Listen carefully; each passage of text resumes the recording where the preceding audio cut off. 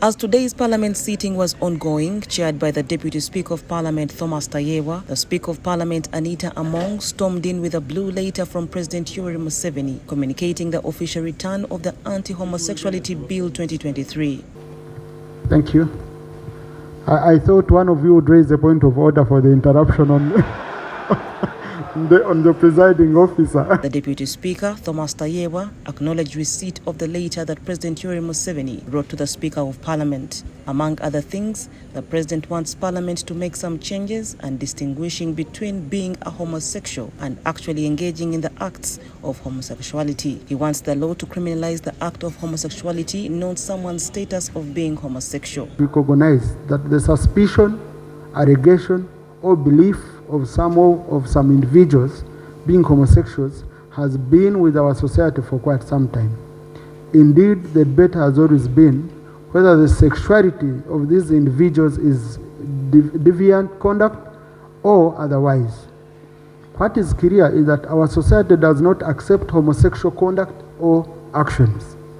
Therefore, the proposed law should be clear so that what is sought to be criminalized is not the state of one having a, deviant uh, proclivity, but rather the actions of one acting on that deviance or indeed promoting the same in whatever way.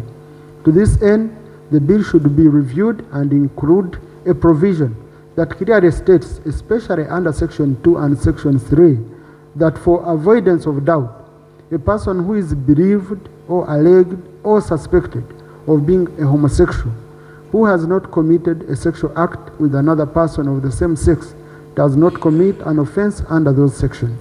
This distinction must be clearly articulated in the law. The president also included a clause which seeks to penalize persons who hire out their premises for homosexuality acts. The president also seeks changes in the bill to review clause 14, which imposes a duty on one to report suspected acts of homosexuality. Report acts of homosexuality.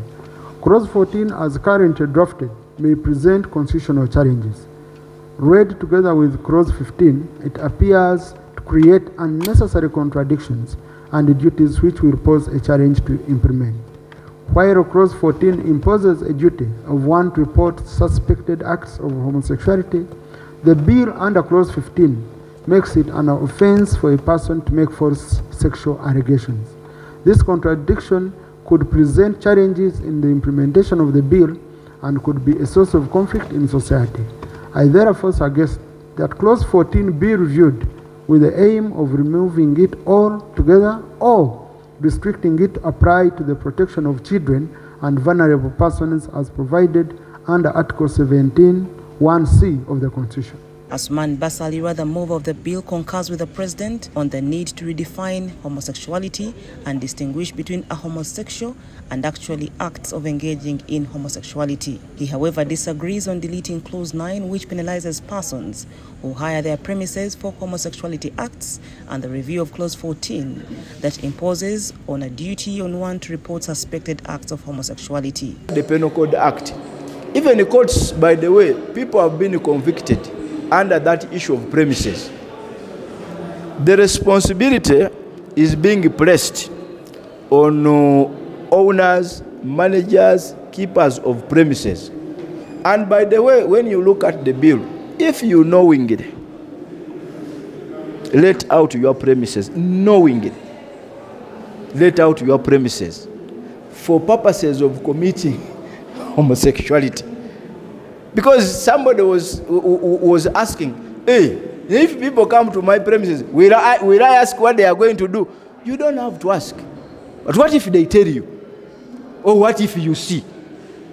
What do you do? So I think it must also be understood. But uh, we will look at the, the, the concerns of the president. President Yoweri Museveni and the Parliamentary Committee on Legal and Parliamentary Affairs, plus the mover of the bill, Asman Basalirwa, held talks yesterday at Entebbe State House on the Anti-Homosexuality Bill 2023 and agreed to have some revisions before it's assented to. Deputy Speaker Thomas Tayebwa referred the bill back to the Committee on Legal and Parliamentary Affairs and tasked members to expeditiously process these changes. Report compiled by Fred Kajubi for the news.